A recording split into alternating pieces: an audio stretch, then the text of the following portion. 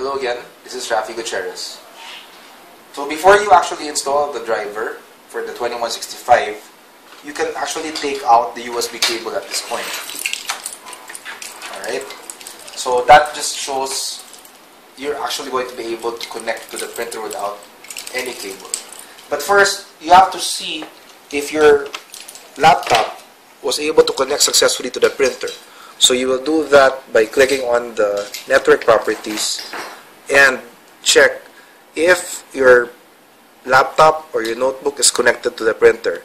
So if you look on our notebook or on our Samsung notebook over here, it's showing that it's connected. That's how it should be on your laptop. By the way, when you connect this for the first time, it will ask you for the password that you generated a while ago. This is the first, uh, third time to connect to this notebook, so it didn't ask for the password anymore, so it just went right through. So go ahead and open the CD again. And now run the actual setup file. A while ago we went to the application folder. Now you can go ahead and run the actual setup file.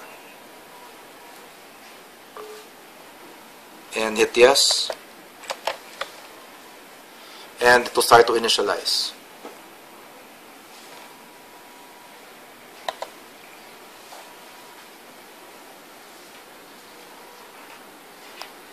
The installation process will take a few minutes depending on how fast your laptop is.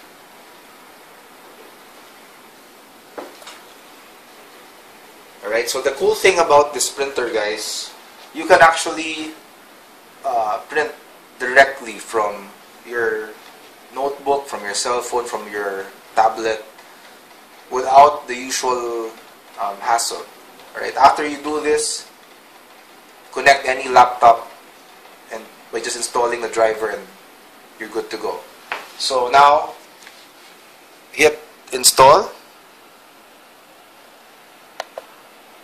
And hit accept. And go ahead and hit next. And you can say either yes or no to this it doesn't matter. It's just asking if you want to send information to Samsung. And you have three options you have to click on the second one. Even if we are configuring a wireless printer, the second option is what you need to choose. And hit next. And now it will connect to the device, make sure the printer is turned on, and you can hit the next button. So it will begin searching for the printer, and it should be able to find it. Alright, so there you go, Voila, very nice, very beautiful it found detected the ML2160 series printer without the USB cable connected. Hit next. And it, it will begin configuring the printer. It will install several programs. So just go ahead and let it install. Um, here you can put a name or share a printer, but you can go ahead and do that later. And if you want to update, hit no for now. Alright, there you go. So now it's installing the printer driver. See, it's not that difficult. It take a few steps, but as soon as you do this, you're good to go.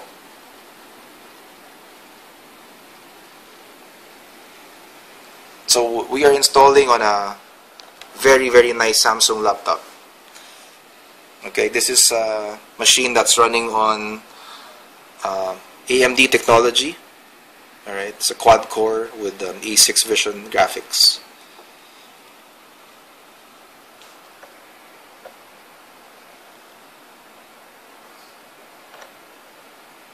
Alright, so that's the process. We're almost done. Getting to a close over here. Alright. We're not doing any shortcuts so you know that you know, we're not bypassing any step. We're doing it exactly how it's supposed to be done. Alright? And there you go. Alright, oops. One last step. Ha.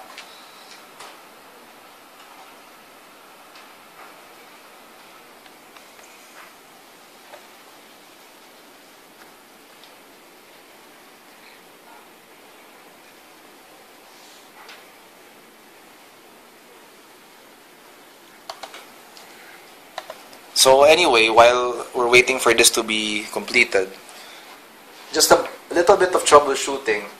If let's say you you um, turn off your computer for the day and turn off the notebook and the printer, and the following day turn devices on again, and for some reason do not detect the wireless printer, just make sure you turn it off for about 10 seconds before you turn it on again.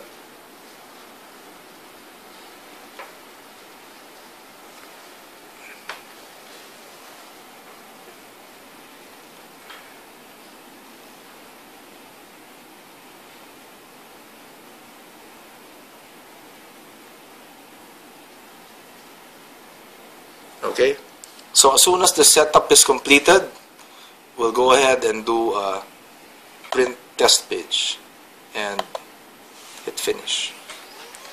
And immediately you can see that the printer